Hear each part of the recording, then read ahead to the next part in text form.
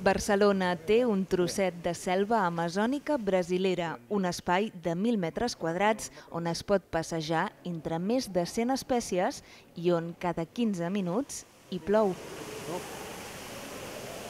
El bosc inundat és una de les grans atraccions del Cosmocaixa, que celebra els seus 10 anys d'existència convertit en un centre de referència internacional i un dels museus més visitats de la ciutat. En aquesta dècada, 8 milions de persones s'hi han dinsat i han pogut experimentar conceptes científics com el principi d'incertesa o les lleis de Newton. Entre els visitants hi ha gairebé 2 milions d'escolars. De fet, la vessant educativa és l'eix vertebrador del projecte, adreçat a generar inquietuds i preguntes en totes les edats. Des de l'educació no formal podem tenir estratègies diferents per reforçar allò que sembla avorrit a l'escola, allò que sembla pesat, allò que sembla que no ho assoliré.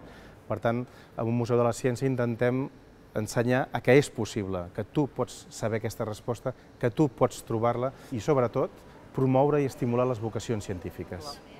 Per celebrar aquest aniversari, Cosmocaixa ha creat l'espai Top Ciència, que repassa les investigacions més actuals, a més d'una completa programació especial per les festes de la Mercè, la data en què tot just es va inaugurar ara fa 10 anys. Jo gravo